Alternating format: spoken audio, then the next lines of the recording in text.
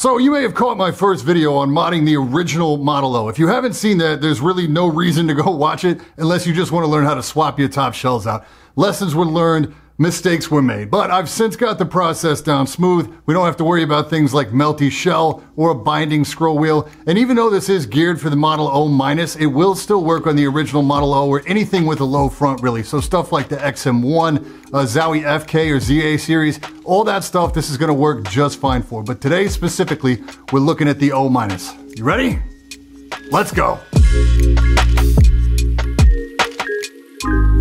Today's video is brought to you by Deepcool and the Castle EX all-in-one liquid CPU cooler. Deepcool created anti-leak technology to make the install safe and worry-free, and the cooler's high efficiency, so noise is never an issue. The addressable RGB pump top is compatible with most major RGB headers or its own controller. Best yet, you can open the cover to rotate the logo to fit any install or replace it with any graphic you like, or no logo at all. The Castle EX is available in 240 and 360 millimeters and does a great job of keeping your system cool and quiet. To learn more, click the link in the description below below. Yo, I'm Brian P. You're watching Bad Seed Tech, and today we're taking a look at how to properly paracord mod the Model O minus. Diving right in here, you're gonna need a lighter, a jeweler screwdriver set, scissors, potentially a razor blade or X-Acto, and possibly a hair dryer. Not, I repeat, not a heat gun. So let's get these feet off first. You can heat them up a little bit with a hair dryer if you like. If you are going to use heat, make sure you use it sparingly. Keep it moving and keep your thumb over your sensor. You don't have to use heat here. Otherwise, you may just have a bit of adhesive to get off there.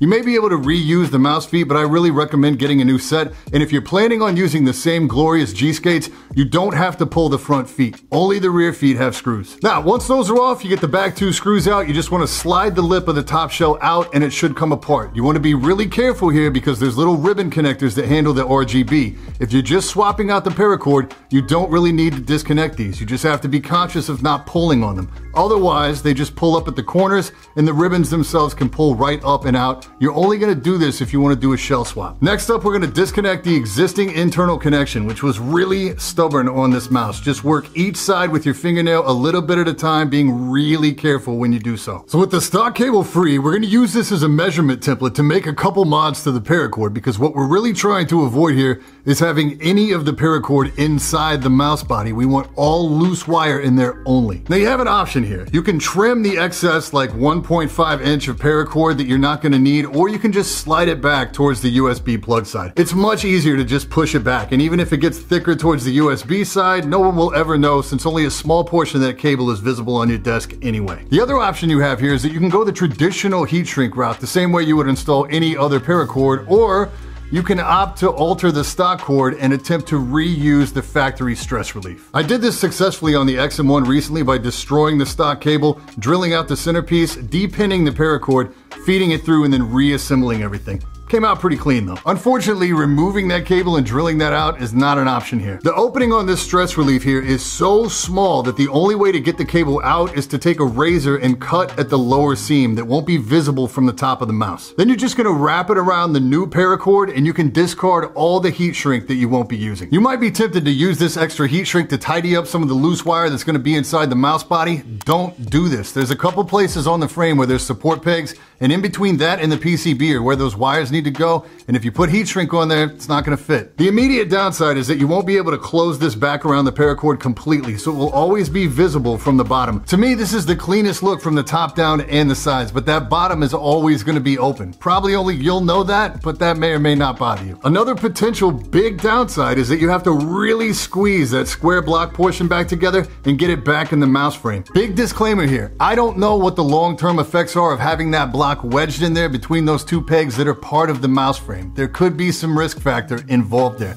Biggest way to mitigate that is to really limit the amount of paracord that's inside the block portion of the stress relief to reduce the amount of stress that that block is putting on the frame. Even with the potential risk there, this is still my favorite way to paracord this mouse because it takes all the guesswork out of the heat shrink. So the heat shrink method is safer, but it's less consistent. The trick to this is two parts. First, you want very little to none of the actual paracord inside the mouse body. So you want to take the black heat shrink and using only the blue portion of the flame, shrink it down with just a hint of the paracord coming out the end. The second important factor is the clear heat shrink. It can't be too long and it can't be too short. When I did the original O, it was too long and it was just kind of mashed in there. So I experimented this time with cutting it approximately the length of the block portion of the stock stress relief. That's too short. Too short and the whole heat shrink just kind of floats around in there. Too long and it binds the scroll wheel. After playing with this, I figured out the best length here is between 4 and 5 millimeters. So with the clear heat shrink positioned on the very end, closest to the inside connector, you're gonna melt that again with the blue portion of the flame. Mine looks a little chewed in the footage here because it was two pieces as I was experimenting with the length. So if you did this right, you'll have loose wire inside the mouse body and a clean looking fake stress relief coming out the front of the mouse. And that's all there is to it. You just wanna reconnect the internal connector, route the cables, snap the frame back together, put your screws in, use a little bit of alcohol where your feet feet are gonna go and put your feet back on. If you did it right, you'll have a clean looking heat shrink coming out the front that's not gonna float or wiggle around in there and it's not gonna bind the scroll wheel. You'll never have issues with your scroll wheel ever again. It's worth noting here too that I do like these Corepad aftermarket skates more than I like the G skates. One question I get asked a lot is about this yellow wire that's present on all the stock plugs but not the paracords. It's a ground wire. It's there for safety compliance and you don't really need it. On most mice it's gonna be yellow. On some mice like the XM1 it's just gonna be a thicker black wire. Just as a little bonus here because it's such a short video today.